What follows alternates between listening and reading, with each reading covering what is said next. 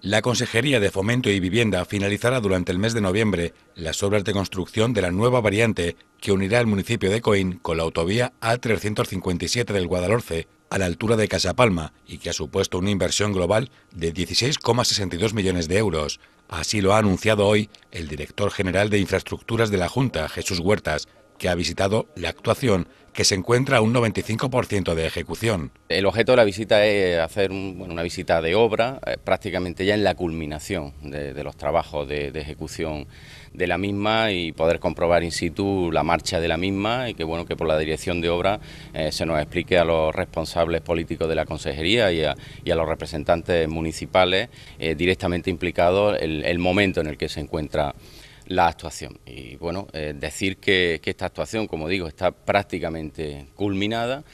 Es una obra que es verdad que, ha tenido muchos años de, ejecución, ha tenido diversas vicisitudes, es, una obra que tuvo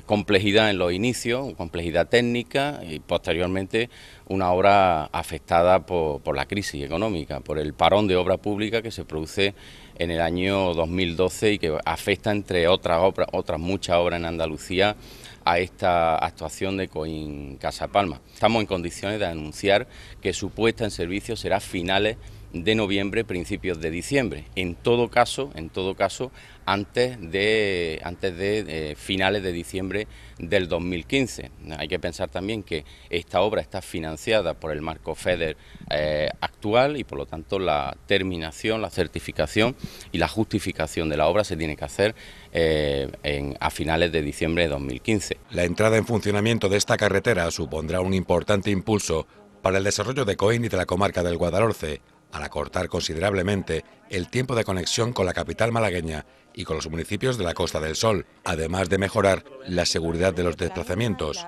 algo fundamental en una vía que será la alternativa a la antigua carretera, donde se registraron un gran número de accidentes a lo largo de todos los años de retraso que ha acumulado este proyecto. Por ello, el anuncio realizado hoy en COIN por la Consejería de Fomento ha sido muy bien acogido por los distintos representantes municipales. En el día de hoy hemos podido comprobar el avance de esta carretera tan importante para la comarca del Guadalhorce, una carretera que va a unir el municipio de Coín con el municipio de Cártama,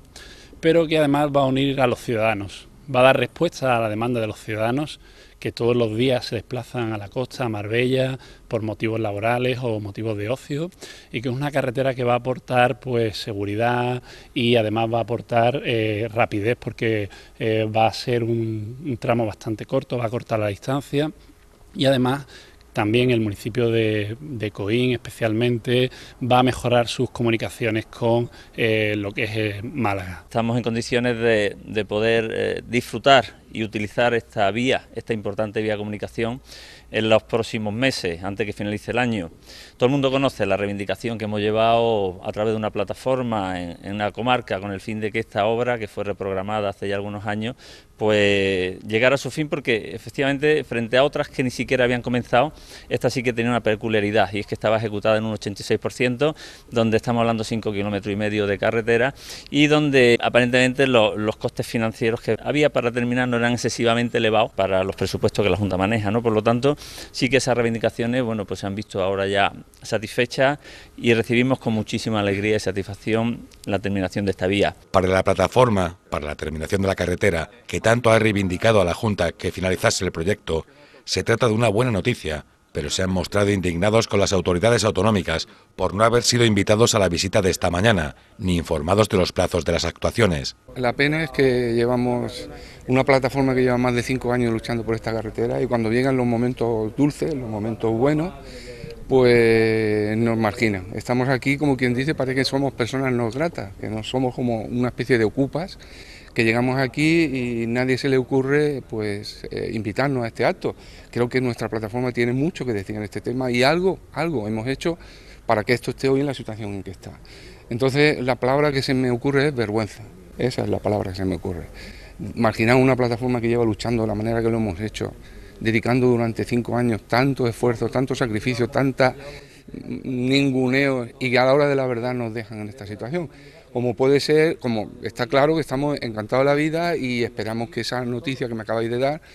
que me acabo de enterar por vosotros, por la prensa, pues sea real y realmente pues eso en esa fecha se abra la carretera. Yo sigo diciendo lo de siempre, hasta que no vea que, que cortan la cinta y los coches circulando, no me lo creeré de verdad.